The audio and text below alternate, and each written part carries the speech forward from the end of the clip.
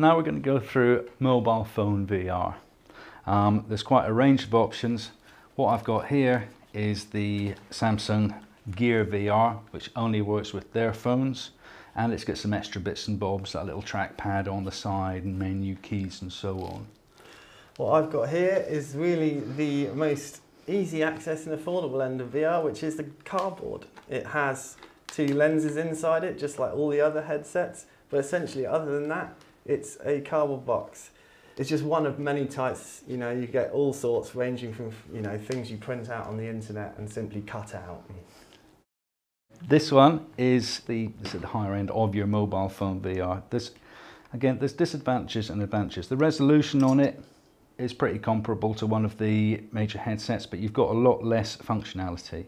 Um, you've got an app in here, you switch on, and then very carefully, as it popped in there, and you can now look in it, simply like that, and you're in a VR environment.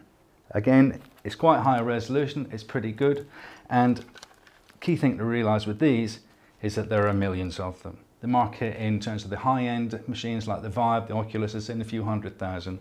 There's millions of these. So if you want to develop games in VR, there's a market. Um, do you want to tell us more about the... Yeah, so obviously the cardboard is a very affordable access way into VR. It essentially offers you much the same as the Gear VR. It's missing a, a few buttons and controllers, absolute bare minimum, but just like Gear VR, you can use any mobile phone for this, not specifically Samsung.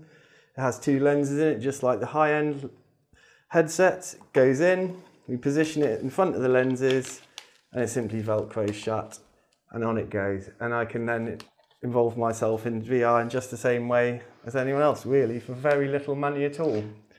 Um, it's important to say, I think, at this point that these contain no positional tracking. So one limitation we do have is that it only manages our rotational information from accelerometers. We do not have the positional tracking that we do in Vive and Oculus. Yeah, I mean, that's the key thing is that not yet. Even this one, you've got a little joypad on the side, but it remains a single camera at the center of a ball of video. And you must really always bear in mind these limitations as a developer of VR so that you know your target unit and you develop games that are sensible for that.